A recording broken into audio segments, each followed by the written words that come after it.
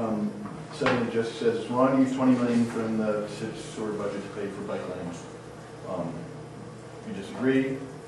Well, yeah, um, I disagree because this whole issue of the word, different reading 20 million is really not true. What, what I did as both the BES commissioner and as a member of the council that supported this package was to make absolutely crystal clear that this money is going first and foremost for sewer projects, basement, basement flooding relief, and by building green streets.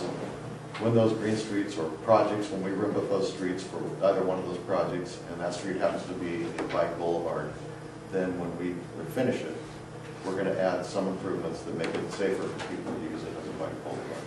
Uh, You're not- working in two different rights of way there, Dan. Well, Everything for a green street and a bioswale is on the inside of the curb. I just went out to maintenance, they walked me through it. And so to say that you're gonna make some improvement on the real public, on the street surface, um, every, I mean, there are green streets all over my neighborhood. They're, they're beautiful bioswales, glorified ditches that, that drain water, and they're on your house side of the curb. They're not in the street. But you know, it's helpful, let's back up and look at how we got to this conversation. In the middle of a public hearing on the bike plan, Commissioner Saltzman introduced a utility fee idea for the first time, with no public process, with no consideration, without even ever having talked to his colleagues. A big surprise. And from that moment on, he put the council in the position of, you either find a way to fund a portion of it, or you're against the bike plan, which was an untenable position. And so the mayor, to his credit, worked hard to find something, but anytime we magically find $20 million Right. for any project, And- magically find $20 million for any project, it breeds the worst kind of cynicism in government that we've grown to Well, expect. sure, because then people don't believe, and now we're five million short. And I also need to say, I pay the highest sewer rates here I have ever paid, paid anywhere I've ever lived in my life. It's CSO though, Ed, and we needed to do it. I'm, I'm proud I that the city stepped forward on that. But when we do it. realize savings from it, it should go right back into the sewer system. Exactly. We have done, I have done the budget forms year after year, different colors of money. You can't take transportation, gas tax for anything other than transportation. If I'm Sewer those and sewer water, rates, I they go want them to go to the And we've got terracotta pipes out there that are crumbling. But okay, I guess, you know, a $1.5 billion bike plan is, is what we need here in Portland. I- While, while our residents are being taxed out of their houses. How do you really feel, Mary? I really feel that way. I live in a little bungalow house in southeast Portland, and I can't afford my sewer and water bills. It's just, it's insane. Mhm. And the businesses are saying the same thing. They're taxed to the hilt, to the point that they have to figure out whether they close their doors or can they start up outside of the city limits. We're moving everybody out. Sewer rates go up in Portland no less than seven percent every year. And then they start talking about how much we should raise sewer rates. I think that it's incumbent that the sewer commissioner agree to put a cap on sewer rates while we figure out how we can prevent further pet projects coming out of ratepayer money. Because right now, we exhibited that we didn't need that 20 million for the big pipe. It's nice that we can do green streets. I'm very supportive of that. I'm very supportive of the bike plan. But until we figure out how much more savings there are there, we should cap the rates. Jesse, how would you fund the bike plan? How would you create Through money? transportation dollars. Where? Where, where are there available City transportation dollars?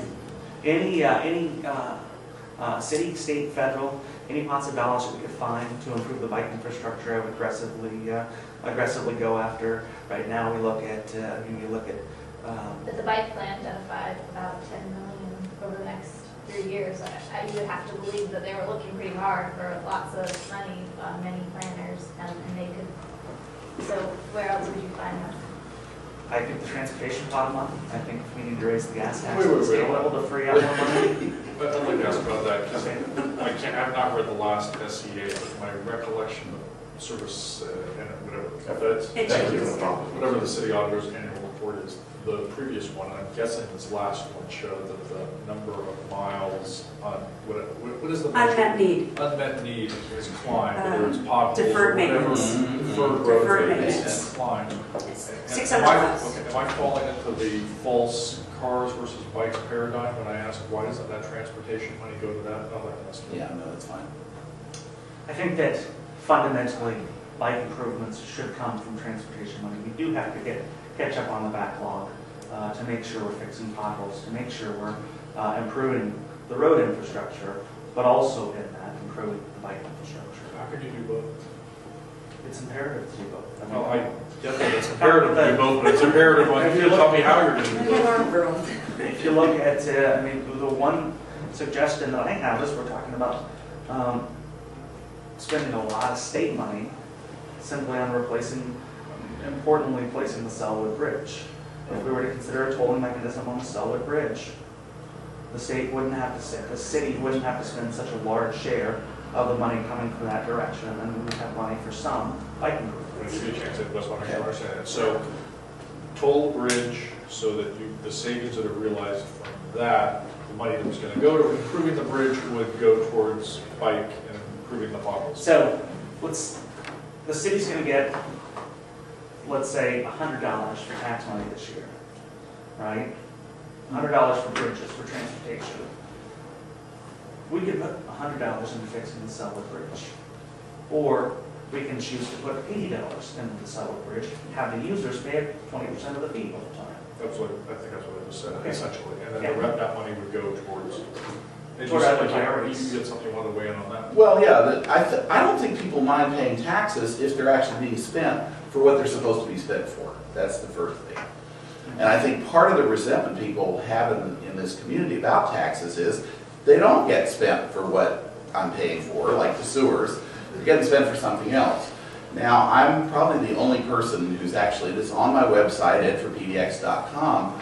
I think we need to figure out a way to register bicycles, charge a fee, figure out what the fee is gonna be. And frankly, as someone who's growing a cataract in my left eye and is beginning to have some vision problems, we have dark streets, dark bicycles, dark, and, and and I had a friend who was run over and killed by a bike, I mean, by a bus on his bike. But if we can fold in, for example, increasing visibility, lots of bikes here have no reflectors, no lights, none of the stuff to make the person more visible, especially at night.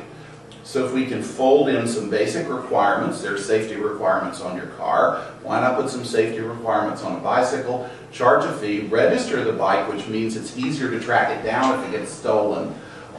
Put a big reflective tag on the back, which also makes it more easy to identify road bicyclists who run down people on the sidewalk. It's only a few. Create that so that the bicycling community is officially a part of the whole transportation scheme and is paying something for that. And, and part of that conversation can be, are you willing to pay more for this fee so that we can dedicate that money to bicycling in the city? I'm gonna stop you there, because that actually sounds like an idea, and I'd like everybody to spend thirty seconds telling me why that is a good or a bad idea. We'll start with you. Great, and I- and. I've been talking about it for years, because I think one of the biggest safety problems we have with bicycles is the, the animosity between cars and bicycles. Yes. I have said over and over that if we, and and I'm not, this will not pay for bike infrastructure, I will tell you that. This is actually just a safety issue, where uh, it- uh, drivers of automobiles complain that bicyclists don't contribute to the, to the overall public right-of-way maintenance. Okay, I think we're thirty seconds. Okay, I like so- that idea. I love the idea, Say except, years. ex- Except what? Except, it cannot, there's no way you could make the fee to pay for infrastructure. It's more of a, it would, it would be a token, look, I'm doing my part. Dan, what do you think? Yeah, I'm not averse to that idea, but I know that, that, that people who are bicyclists will tell you that, you know, they own a car, they pay their registration fees, they pay their gas taxes, but, you know, I'm For the not car. averse. Justin? I think that we should be encouraging bicyclists to get on their bikes. I think any fees, registration, uh, or taxes will make that more difficult. Uh, And uh, since programs historically show that they do nothing more than fund the program, I'm in support of it. As somebody who bikes communication Semi-regularly. regularly. and then Semi-regularly. Secondly, speaking for myself, Okay, sorry.